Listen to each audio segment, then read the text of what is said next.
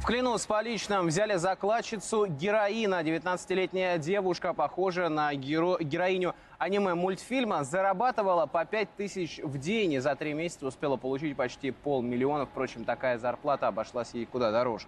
О том, какое наказание грозит молодой закладчице, расскажет Владимир Кузнецов. Во, привет, ты в эфире. Да, привет, коллеги. 20 лет колонии для 19-летней девушки. Такой приговор грозит задержанной за хранение и сбыт тяжелых наркотиков. Взяли ее на улице с поличным сразу после того, как она сделала очередную закладку. Сверток с героином был завернут в кленовый лист и положен рядом с канализационным люком, чтобы клиенту было проще найти уже оплаченный товар. Не успела закладчица написать покупателю смс как оперативники в гражданской одежде поймали ее на месте преступления. Ну так, покажи, что два и все.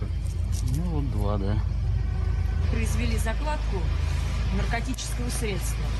Какое это наркотическое средство? Поясните, пожалуйста.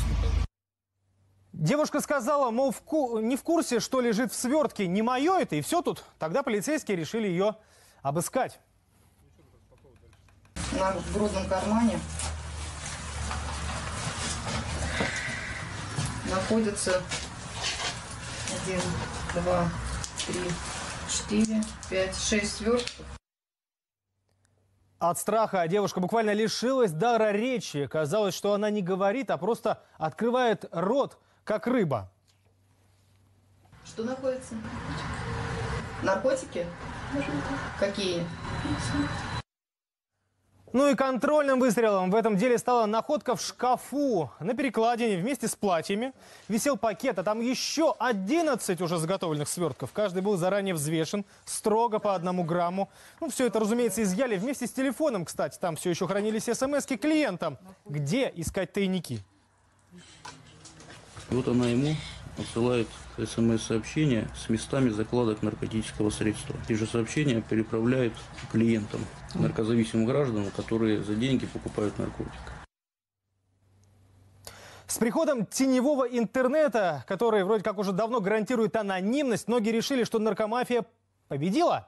Якобы выследить и задержать дилеров, закладчиков теперь невозможно, но на самом деле более чем возможно. Полицейские достаточно быстро адаптировались к новым правилам наркоторговли и работают по совершенно иному алгоритму.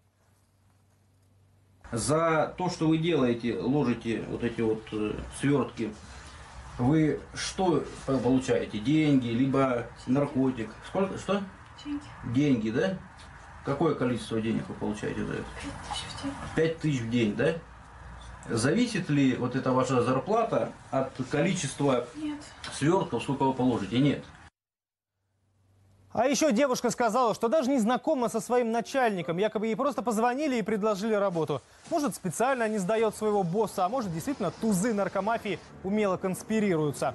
Все, что смогла э, сделать задержанная, это передать полицейским номер телефона своего работодателя. Но, скорее всего, звонить там уже некому, а вместо попавшейся девушки ее босс уже нашел, скорее всего, другого человека, способного пойти на такую глупость ради легкой наживы. Коллеги. Вов, спасибо. Это был Владимир Кузнецов и рассказал нам о закладчице героина. А мы переходим к другим новостям.